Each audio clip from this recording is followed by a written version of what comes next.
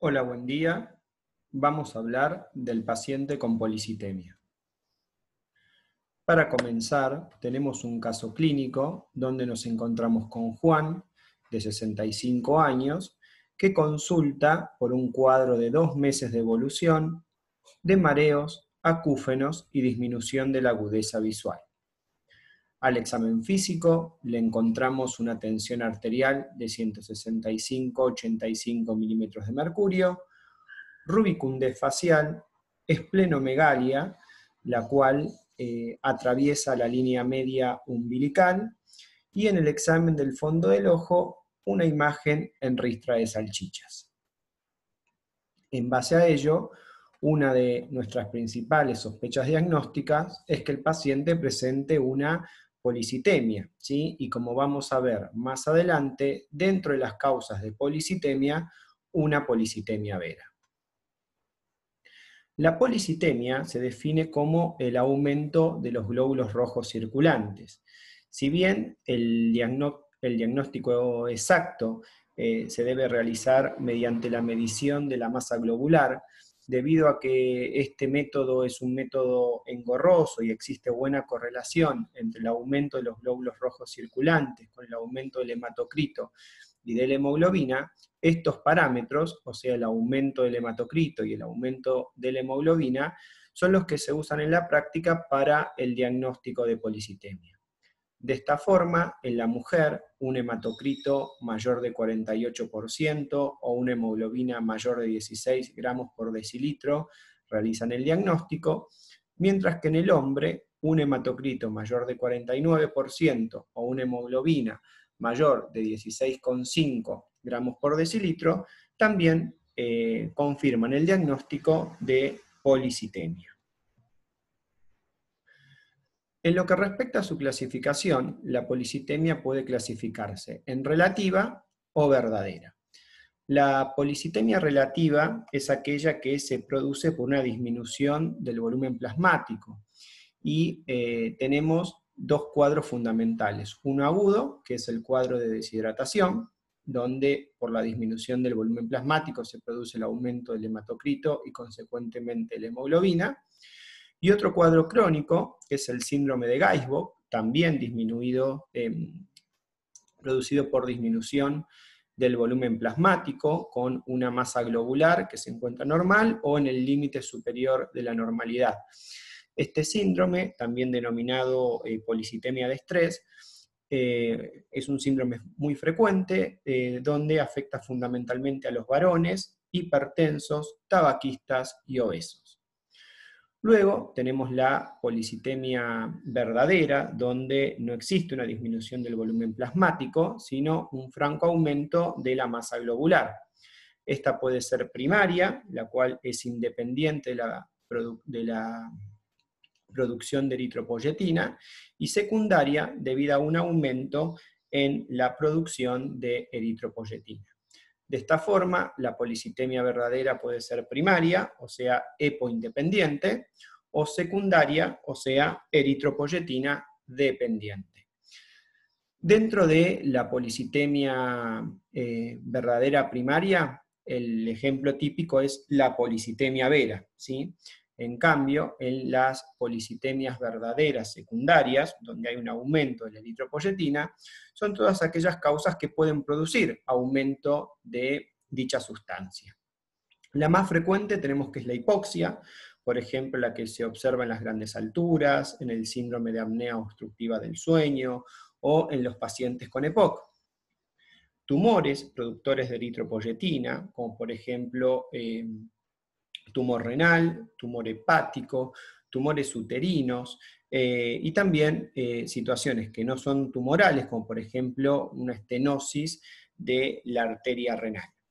Y otras situaciones como el tabaquismo y la intoxicación crónica con monóxido de carbono. Entonces, eh, resumiendo, la policitemia puede ser relativa, donde tenemos la deshidratación y el síndrome de Geisbock, o verdadera, con un aumento franco del número de glóbulos rojos circulantes, donde tenemos que puede ser primaria, EPO independiente, policitemia vera, o secundaria, dependiente del aumento de la secreción de eritropoyetina, donde la hipoxia es la causa más frecuente. Con respecto a las manifestaciones clínicas, estas van a depender fundamentalmente del aumento de la viscosidad sanguínea, ¿sí? Eh, situación que ocurre cuando el hematocrito, por lo general, supera el 55%. Estas manifestaciones clínicas pueden ser cefaleas, mareos, alteraciones visuales como disminución de la agudeza visual o visión borrosa, o un cuadro confusional, puede haber una disnea de esfuerzo, hipertensión arterial, trombosis arteriovenosas, las cuales constituyen la principal complicación de los cuadros de policitemia. Estas trombosis afectan fundamentalmente a los vasos abdominales o también cerebrales y es eh, muy sugestivo eh, de policitemia una trombosis eh, ocurrida a nivel de las venas suprahepáticas. Recuerden, las trombosis arteriovenosas eh, representan las principales complicaciones de la policitemia. También eh, podemos encontrar rubicundez, esto es debido no a la hiperviscosidad, sino al aumento del número de glóbulos rojos. Eritromelalgia, que la eritromelalgia es un cuadro caracterizado por dolor, ardor y prurito de las extremidades, fundamentalmente de manos y pies prurito acuagénico, que ocurre después de bañarse por una gran liberación de histamina, y esplenomegalia. ¿sí? La presencia de eritromelalgia, prurito acuagénico y esplenomegalia sugieren fuertemente o orientan fuertemente a una policitemia vera. Otro dato u otra observación característica es la que observamos a nivel del fondo del ojo en lo que respecta a las venas. ¿sí? Las venas van a ser venas tortuosas y esas venas tortuosas adquieren la disposición de ristras de salchicha. Fíjense cómo tenemos venas tortuosas, aquí se afinan, tortuosas, se afinan, tortuosas, se afinan, ¿sí? Se engrosan y, y están más gruesas y luego se van afinando. Eh, como una ristra de salchichas. Esta observación en el fondo del ojo es sugestiva de hiperviscosidad. ¿sí? Puede observarse, por ejemplo, en la, eh, no solamente en la policitemia vera, sino en pacientes con mieloma múltiple o macroglobulinemia de Waldenstrom. Luego tenemos los exámenes complementarios. Dentro de los exámenes complementarios nos van a servir estudios de laboratorio, donde en el laboratorio sanguíneo vamos a encontrar eh, el aumento del hematocrito y el aumento de la hemoglobina. Este aumento del hematocrito y de la hemoglobina pueden estar acompañados de leucocitosis o trombocitosis, situaciones que orientan a una policitemia vera. ¿sí? Recuerden que la policitemia vera es un síndrome mieloproliferativo. También en el laboratorio podemos eh, dosar eritropoyetina, la cual si se encuentra aumentada nos orienta a una policitemia secundaria, se encuentra disminuida a una policitemia primaria. Em, el aumento de la beta-2 microglobulina y de la fosfatasa alcalina leucocitaria eh, se observan en aquellos pacientes con policitemia vera. Eh, también, además de los exámenes de laboratorio, una ecografía abdominal para confirmar la presencia de esplenomegalia y determinar bien la longitud del vaso y sus características, un ecodoppler arterial o venoso en caso de eh, que la persona se presente con un cuadro de trombosis o sospechemos una trombosis, recuerden la trombosis de las venas suprepáticas, la punción aspiración de la médula ósea en caso de policitemia vera, donde vamos a encontrar una médula ósea hiperplásica, y también en este último cuadro la mutación del gen JAK2, ¿sí? tanto en sangre como en médula ósea. Aquí tenemos un algoritmo diagnóstico eh, en el caso de que tengamos a una persona con policitemia y no tengamos la causa, ¿sí? pero en la gran mayoría de los casos eh, la causa de policitemia, si realizamos una adecuada anamnesis y un adecuado examen físico, nosotros vamos a llegar a un diagnóstico sin necesidad de seguir este eh, algoritmo u otros algoritmos que también se presentan.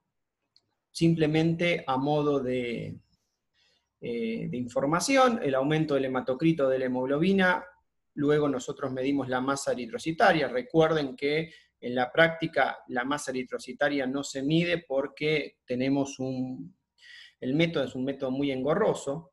Si la medición de la masa eritrocitaria es normal, tenemos la eritrocitosis relativa, recuerden la deshidratación o el síndrome de Geisbock.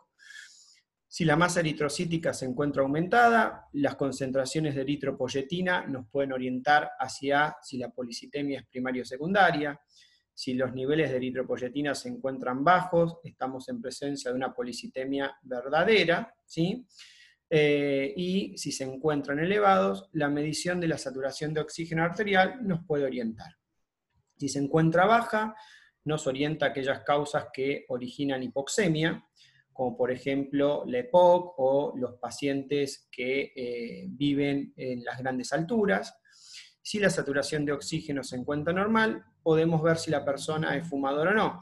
Si la persona es fumadora, medimos carboxiemoglobina, si se encuentran elevados tenemos la policitemia del fumador, y si la persona no es fumadora o los niveles de carboxiemoglobina son normal, podemos medir em, o detectar la presencia de otras hemoglobinas que tengan alta afinidad por el oxígeno. ¿sí? Si estas hemoglobinas se encuentran eh, presentes, eh, tenemos una hemoglobinopatía y si se encuentra normal, ahí tenemos que descartar neoplasias ¿sí? productoras de eritropoyetina, ¿sí? como por ejemplo habíamos dicho neoplasias renales, eh, neoplasias uterinas, neoplasias hepáticas. ¿sí? Pero todo este algoritmo que orienta, ayuda, generalmente no es necesario porque con una buena anamnesis y una buena historia clínica o un buen examen físico, nosotros vamos a llegar a la causa de la policitemia sin necesidad de seguir ningún tipo de algoritmo.